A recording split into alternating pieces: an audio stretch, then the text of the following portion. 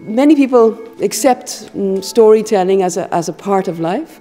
Uh, but they never really reflect on it. And I think certainly in uh, today's age of uh, mass media and social media, where we are constantly being fed different stories, I think it's extremely important that we understand how stories are constructed uh, and how we might be able to recognize the stories which are actually more persuasive or should be more persuasive than others.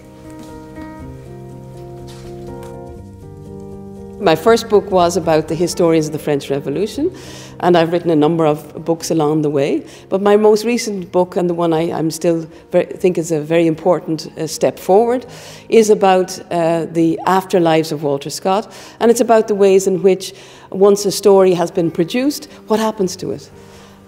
Traditionally, people looked at stories in themselves, how they were made, and I've shifted the emphasis to looking at the way stories are used. And I particularly looked at what we call the reception of this uh, uh, particular novelist, a very famous novelist, and looked at the ways in which people uh, reproduced his stories, acted out his stories, uh, referred to his stories in street names, uh, in uh, theatre productions, in film productions. And so I began to trace the ways in which a story survives in society over many generations. I like to think I've made an important contribution to the development of what we call cultural memory studies. Cultural memory studies is this study of the ways in which societies remember through all sorts of media.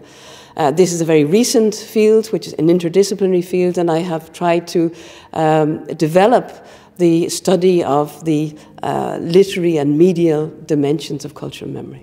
And we, through cultural memory studies, are developing concepts uh, with which to analyse these processes of contestation and negotiation around the collective past. And we're also developing uh, a larger sense of the history of the practice of commemoration and of the production of cultural memory.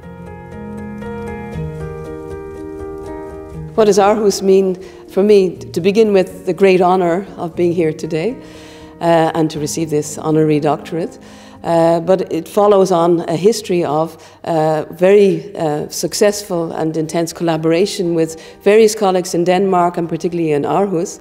Uh, and um, given my own background in cultural memory studies, I've been delighted to see the development of uh, this focus area on the uses of the past, which will allow me to continue my collaboration with historians and uh, cultural scholars here in Aarhus around issues of representation, narrativity, and cultural memory.